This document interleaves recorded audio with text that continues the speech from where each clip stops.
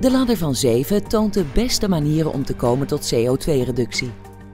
Allereerst door energie te besparen, dan het gebruik van hernieuwbare energie. Daarna komt groen gas en onze eigen aardgas. Bronnen die de voorkeur hebben boven geïmporteerd gas of het gebruik van olie en kolen.